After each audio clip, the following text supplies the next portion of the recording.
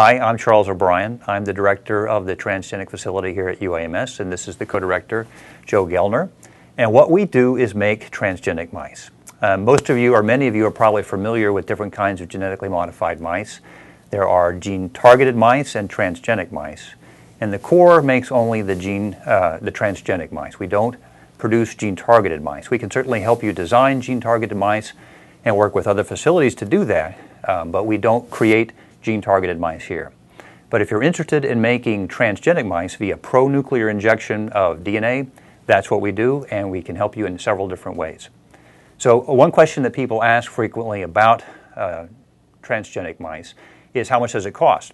The fee for the service here at UAMS is about $3,200, and for that you get uh, a guarantee of at least two uh, transgenic founder mice that you can use to expand your, your colony.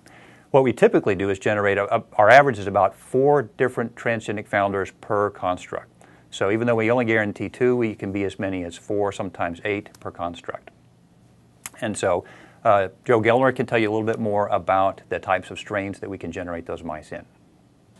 The strains we do the pronuclear injections in are C57BL6s or hybrids, and currently we're using CB6F1 hybrids.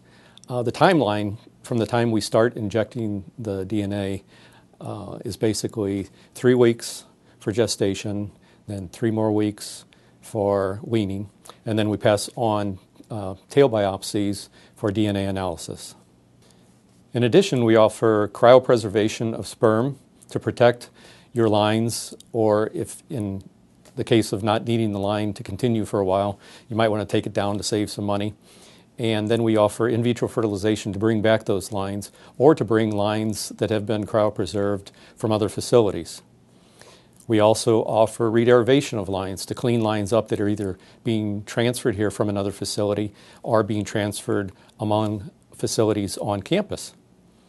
Okay, so lastly, uh, who can use the facility? It's open to anyone, uh, any investigator on the campus, uh, the UAMS, Arkansas Children's Hospital, and VA campuses. So uh, there are no priorities for any uh, one group of people. It's uh, equally available to everybody. And the last thing I'd like to mention is that so far, with all the constructs we've had over the last uh, six or seven years, we're batting a thousand. So if you give us a DNA construct, we'll give you a mouse.